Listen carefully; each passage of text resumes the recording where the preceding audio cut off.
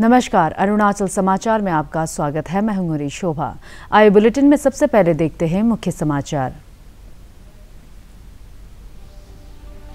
प्रधानमंत्री नरेंद्र मोदी जर्मनी के स्लॉस अलमाओ में आयोजित जी सेवन शिखर सम्मेलन में पर्यावरण ऊर्जा जलवायु खाद्य सुरक्षा और स्वास्थ्य विषय पर चर्चा में ले रहे हैं हिस्सा। जी सेवन में विश्व के सबसे बड़े सात देश Canada, France Germany Italy Japan United Kingdom और अमेरिका शामिल। विपक्षी दलों के राष्ट्रपति पद के उम्मीदवार यशवंत सिन्हा ने भरा नामांकन पत्र। संसद भवन में श्री सिन्हा के साथ कांग्रेस के राहुल गांधी, एनसीपी प्रमुख शरद पवार, समाजवादी पार्टी के अखिलेश यादव, मार्क्सवादी कम्युनिस्ट पार्टी के सीताराम येचूरी सहित विपक्षी दलों के कई नेता रहे मौजूद। स्वास्थ्य मंत्री आलो लिबांग ने वेस्ट सियांग ज़िले के जनरल अस्पताल आलो में सीटी स्कैन मशीन का किया उद्घाटन। कहा, सरकार लोगों को बेहतर स्वास्थ्य सुविधाएँ उपलब्ध कराने के लिए जिला अस्पतालों, सामुदायिक और प्राथमिक स्वास्थ्य केंद्रों में चिकित्सा सुविधाओं का कर रही है विस्तार। प्रधानमंत्री नरेंद्र मोदी ने आज जर्मनी के स्लॉज अल्माओ में आयोजित जी सेवन शिखर सम्मेलन में पर्यावरण ऊर्जा जलवायु खाद्य सुरक्षा और स्वास्थ्य विषय पर चर्चा में हिस्सा ले रहे हैं। जर्मनी जी सेवन का अध्यक्ष होने के नाते शिखर सम्मेलन की मेजबानी कर रहा है। इसमें विश्व के सबसे बड़े सात देश Canada, France Germany Italy Japan United Kingdom और अमेरिका शामिल है। भारत इस सम्मेलन में विशेष अतिथि देश के तौर पर हिस्सा ले रहा है। इससे पहले प्रधानमंत्री नरेंद्र मोदी ने रविवार को जर्मनी के म्यूनिक में भारतीय समुदाय को संबोधित किया। राष्ट्र की सफलता में प्रवासी भारतीयों की सराहना करते हुए उन्हें भारत के ब्रांड एम्बेसडर की तरह काम करने की सलाह दी।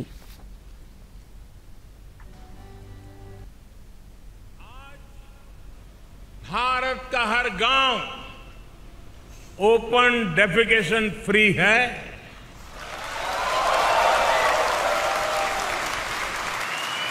आज भारत के हर गाँव तक बिजली पहुँच चुकी है। आज भारत का लगभग हर गाँव सड़क मार्ग से जुड़ चुका है। आज भारत के 99 परसेंट से ज़्यादा लोगों के पास क्लीन कुकिंग के लिए गैस कनेक्शन है। आज भारत का हर परिवार बैंकिंग व्यवस्था से जुड़ा हुआ है। आज भारत के हर गरीब को पाँच लाख रुपए मुफ़्त इलाज की सुविधा उपलब्ध है। इंफॉर्मेशन टेक्नोलॉजी में डिजिटल टेक्नोलॉजी में, भारत अपना परचम लहरा रहा है। दुनिया में हो रहे real time real time digital payments में से 40 परसेंट ट्रांजेक्शन भारत में हो रहे हैं। आज भारत डेटा कंजम्पशन में नए रिकॉर्ड बना रहा है। भारत उन देशों में है जहाँ डेटा सबसे सस्ता है। विपक्षी दलों के राष्ट्रपति पद के उम्मीदवार यशवंत सिन्हा ने आज नामांकन पत्र भरा। संसद भवन में श्री सिन्हा के साथ कांग्रेस पार्टी के राहुल गांधी, राष्ट्रवादी कांग्रेस पार्टी प्रमुख शरद पवार, समाजवादी पार्टी के अखिलेश यादव, नेशनल कॉन्फ्रेंस के फारूक अब्दुल्ला, तृणमूल कांग्रेस के अभिषेक बैनर्जी, टीआरएस के के टी रामाराव, डीएमके के ए राजा और सीपीएम के सीताराम येचूरी सहित विपक्षी दलों के कई नेता मौजूद थे। इससे पहले शुक्रवार को राष्ट्रीय जनतांत्रिक गठबंधन की राष्ट्रपति पद की प्रत्याशी द्रौपदी मुर्मू ने अपना नामांकन दाखिल किया था। राष्ट्रपति चुनाव के लिए मतदान 18 जुलाई को होगा, जबकि मतगणना 21 जुलाई को की जाएगी।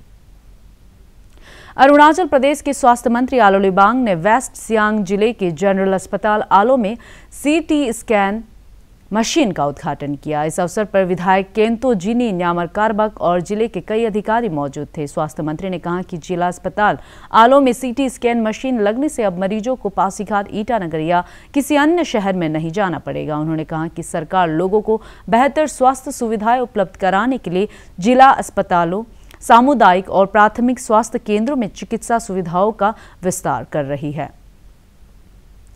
असम में मौसम साफ़ होने से बाढ़ की स्थिति में सुधार हुआ है। हालाँकि अन्य इलाकों की तुलना में बराक घाटी में स्थिति अभी थोड़ी गंभीर बनी हुई है। सरकारी सूत्रों ने कहा है कि पिछले 24 घंटों में राज्य के 28 जिलों में 22 लाख से अधिक लोगों पर बाढ़ का असर पड़ा और पाँच लोगों की मृत्यु हो गई। बाढ़ से अधिक प्रभावित कछार ज़िले सहित बराक घाटी में राहत और बचाव कार्य तेज़ी कर दिए गए हैं। मुख्यमंत्री हेमंत बिस्व शर्मा ने बचाव और राहत कार्य की निगरानी के लिए कल सिलचर ज़िले का दौरा किया। दो मंत्री परिमल, शुक्लवेद और जयंत मल्ला बरुआ राहत कार्यों पर निगरानी रखने के लिए बड़ा घाटी में डेरा डाले हुए हैं। केंद्रीय जल शक्ति मंत्री गजेंद्र सिंह शेखावत ने कहा है कि अरुणाचल प्रदेश में विभिन्न चुनौतियों के बावजूद जल जीवन मिशन का कार्य प्रगति पर है। अपने एक ट्वीट में श्री शेखावत ने कहा कि हमारा जज्बा और हमारा विश्वास सभी बाधाओं को पार कर नियत समय में हर घर को नल के ज़रिए जल पहुँचाने के मिशन को पूरा करने में सहायक हो रहा है। हमारा बारिश ज़्यादा रहता है, जिसके कारण से हमारा फ्रीक्वेंट फ्लड होता है और वर्किंग सीज़न भी बहुत कम होता है। कभी कभी तो हमें ये ऑनगोइंग स्कीम में भी एक ही स्कीम को कभी कभी हेडवर्क दोबारा बनाना पड़ता है।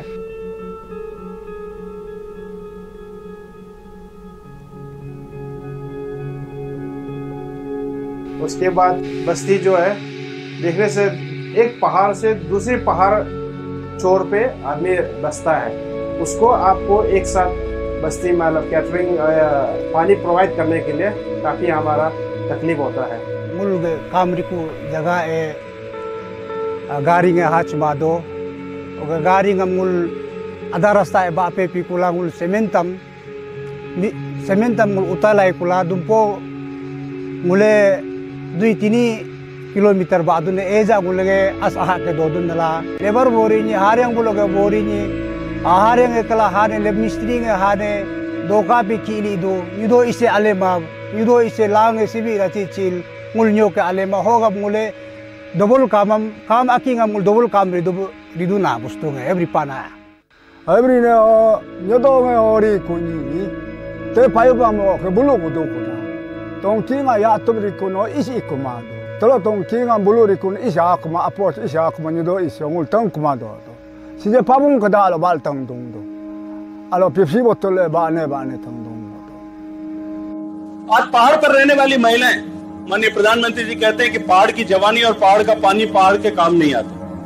पहाड़ की महिलाओं को भी तो अपने सिर पर पे, अपने हाथ में कंधे पर पानी उठा करके कितनी सीधी खड़ी चढ़ाई में पानी लेने के लिए जाना पड़ता था।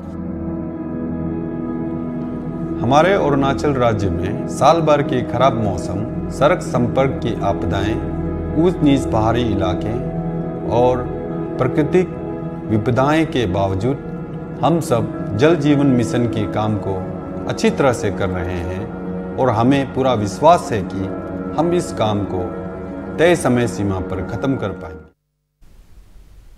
राज्य भर में रविवार को अंतर्राष्ट्रीय नशा निषेध दिवस मनाया। ईस्ट सियांग ज़िले के IGJ government higher secondary school Pasighat में ऑल बोगोंग छात्र संघ द्वारा आयोजित नशे से आज़ादी जागरूकता कार्यक्रम में बड़ी संख्या में युवाओं ने हिस्सा लिया। ऑल बोगोंग छात्र संघ के सचिव सियांग मोयोंग ने युवाओं से नशे का सेवन न करने और राष्ट्र निर्माण में योगदान देने की अपील की।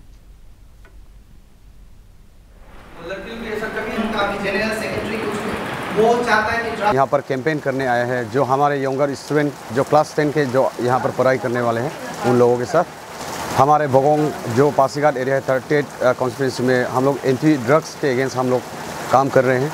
और हम लोगों ने बहुत जो जैसे कि वासे है, उनके साथ भी हम लोगों ने काम किया।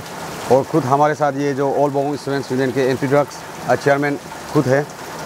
और उसके बाद हमारे जितने भी यहाँ के एग्जीक्यूटिव हैं, हम सब आज यहाँ एक उम्मीद लेके आए हैं जो हमारे स्टूडेंट यंगर जनरेशन है, वो ड्रग्स का सेवन ना करे और ठीक तरह से अपना फ्यूचर को बनाए।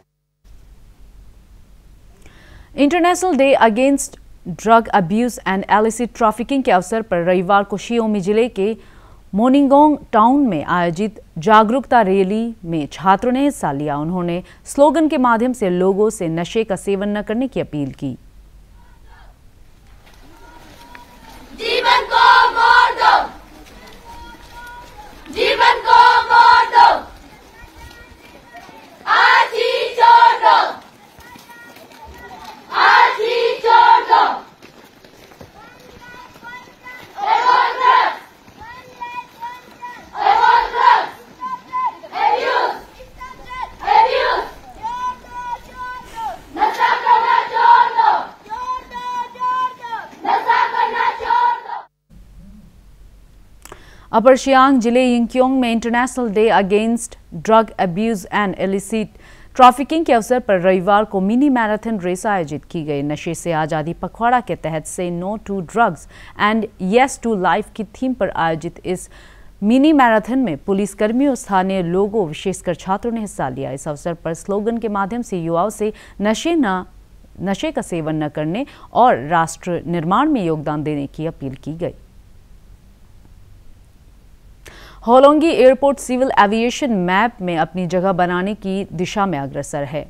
Mobile air trafficking control tower को स्थापित किया जा चुका है, जिसे एयर ट्रैफ़िक मैनेजमेंट में उपयोग किया जाएगा।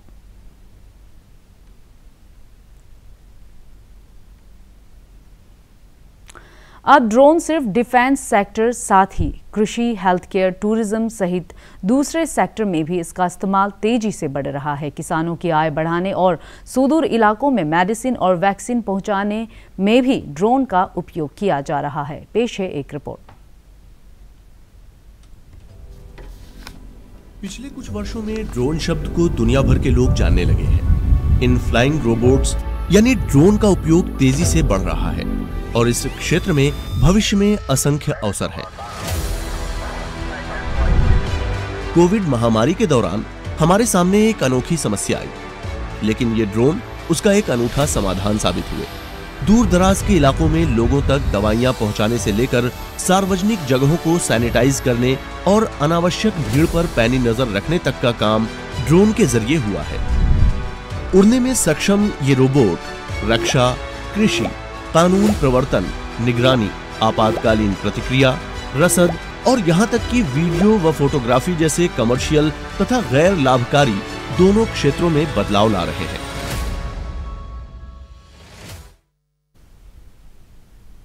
बन चुके हैं और इसकी वजह है उनका बहुपयोगी होना। वो पक्षियों की तरह जल्दी से उड़ते हैं और ज़मीन पर कुशलता से उतरते हैं। अर्थव्यवस्था के विभिन्न क्षेत्रों को ज़बरदस्त लाभ पहुँचाने की क्षमता के अलावा ड्रोन रोज़गार और आर्थिक विकास में भी महत्वपूर्ण भूमिका निभा सकते हैं। इसकी अपार संभावनाओं को महसूस करते हुए भारत सरकार विभिन्न क्षेत्रों में ड्रोन के निर्माण और अनुप्रयोग को प्रोत्साहित कर रही है। अगस्त 2021 में भारत ने ड्रोन नियमावली 2021 को पेश किया। जिसने ड्रोन के लिए आवश्यक जटिल अनुमोदन की प्रक्रियाओं में बदलाव किया और इसकी प्रमाणन प्रक्रिया को तेज कर दिया। नए नियमों ने ड्रोन को व्यावसायिक उपयोग में सक्षम बनाया, ड्रोन को वैध बनाया गया और भारत में ड्रोन से जुड़े व्यवसायों को बढ़ावा देने के लिए बाज़ार को अधिक उदार और ज़्यादा अनुकूल बनाया गया। भारत का शानदार स्वाधीनता संघर्ष, आधुनिक विश्व के महानतम संघर्षों में से एक है। दूरदर्शन समाचार द्वारा प्रसारित किए जा रहे आज़ादी का सफ़र में आज हम बात करेंगे स्वतंत्रता सेनानी राज नारायण मिश्रा के बारे में। आज की कड़ी में हम स्वतंत्रता सेनानी राज नारायण मिश्र को याद कर रहे हैं, जिन्हें 27 जून 1944 को मृत्यु दंड सुनाया गया था। उत्तर प्रदेश में लखीमपुर खीरी के भीष्मपुर के निवासी राज नारायण भारत छोड़ो आंदोलन के सेनानी थे। वे 14 अगस्त 1942 को महमूदाबाद रियासत में हुई थानेदार की हत्या में शामिल थे। उन्होंने ज़िले में अंग्रेज़ी हुकूमत के कई प्रतिष्ठानों में तोड़फोड़ की कार्रवाई में भी भाग लिया था। और क्रांतिकारी गतिविधियों के लिए गुप्त रूप से हथियार जमा किए थे। पुलिस राज नारायण को उनके गाँव से नहीं पकड़ पाई और उन्हें भगोड़ा घोषित कर दिया और साथ ही उन्हें पकड़ने पर इनाम की भी घोषणा की गई। राज नारायण भेस बदल कर मध्य प्रदेश पहुँचे, लेकिन एक विरोध रैली में भाग लेने पर उन्हें दो महीने के लिए गिरफ़्तार कर लिया गया। आंदोलन में भाग लेने के लिए उन्हें किसी अन्य नाम से छह महीने बॉम्बे जेल में काटने पड़े। आखिर राज नारायण मिश्र को पहचान लिया गया और मेरठ से गिरफ़्तार किया गया। उस समय वे गांधी आश्रम के एक कार्यकर्ता के निवास पर ठहरे हुए थे। उन्हें वापस खीरी लाया गया और हत्या और तोड़ फोड़ के लिए हथियार कानून के तहत मुकदमा चलाया गया। 27 जून 1944 को राज नारायण को मृत्यु दंड सुनाया गया और लगभग पाँच महीने बाद 9 दिसंबर 1944 को लखनऊ जेल में उन्हें फांसी दे दी गई। उस समय उनकी उम्र मात्र 24 वर्ष थी। अरुणाचल समाचार के आज के अंक में इतना ही। जाने से पहले आप सभी से अनुरोध है कि कोविड 19 के दिशा निर्देशों का पालन करें। हमेशा मास्क लगाए बार बार हाथ धोए और सोशल डिस्टेंसिंग के नियमों को माने। कोरोना महामारी से बचाव के लिए आपका वैक्सीन लगवाना भी ज़रूरी है। अगर आप वैक्सीन लगवाने के पात्र है तो ज़रूर लगवाएँ। हम कल फिर हाजिर होंगे अरुणाचल और देश दुनिया की खबरों के साथ। चलते चलते आपको बता दें कि आप अरुणाचल समाचार हमारे YouTube channel D news Arunachal पर भी देख सकते हैं। देखते रहिए अरुण प्रभा, नमस्कार।